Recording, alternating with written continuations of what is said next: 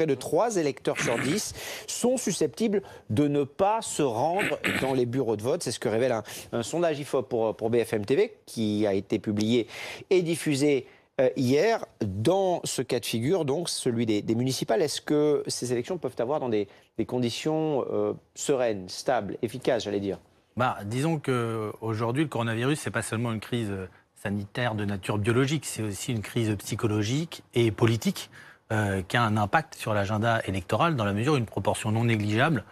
28% au total, mais le chiffre est plutôt autour de 16% des électeurs qui se disent certains de ne pas aller voter à cause des risques de, transmission. Et ce qui est intéressant, c'est que toutes les catégories d'électorat ne sont pas concernées, c'est surtout les urbains, euh, les jeunes et euh, les personnes qui sont les plus exposées, je dirais, aux informations de nature alternative sur les réseaux sociaux, les fake news, etc., et qui sont plus inquiètes que le reste de la population. Ce que vous êtes en train de dire, si je vous comprends bien, c'est que euh, même s'il ne s'agit que de 16 ou 20 ou 25 d'électeurs qui, qui, ne se rendent pas dans les urnes ce dimanche et dimanche prochain, ça peut avoir un impact sur le résultat des élections. C'est évident, même si euh, ça va plutôt affecter des gens qui votent pas ou qui sont un peu moins représentés que les autres, comme les gens plutôt situés à la droite de la droite ou à la gauche de la gauche.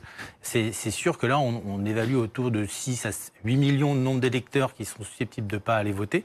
Et euh, c'est un problème, sachant que déjà, la campagne des municipales avait été masquée par la, réforme des retraites et maintenant elle passe complètement euh, en dessous des radars à cause de la crise du coronavirus. Donc c'est sûr qu'on risque d'être plutôt sur une mobilisation électorale à la baisse, sachant que déjà en 2014, on était sur un niveau record d'abstention.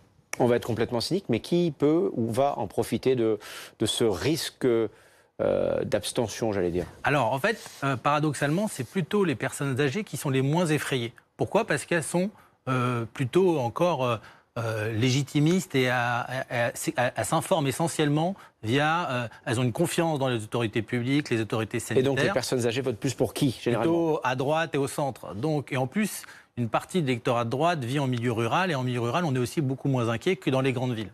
Donc, globalement, actuellement, c'est plutôt la droite modérée, la droite classique, qui euh, devrait être la moins impactée, même si elle sera aussi un petit peu. Et qui devrait être les ou le plus impacté alors, c'est un peu compliqué, mais ça se situe plutôt à la droite de la droite ou à la gauche de la gauche. C'est plutôt les extrêmes, aussi des abstentionnistes, bref, des gens qui sont aussi déjà euh, pas forcément représentés euh, par l'offre électorale dans les, dans les élections municipales. Vous savez que c'est toujours compliqué pour la France insoumise, pour le Rassemblement national, de constituer des listes. Donc disons que l'abstention, euh, c'est il y a plusieurs facteurs dans l'abstention et le coronavirus va se rajouter à d'autres variables qui jouent déjà.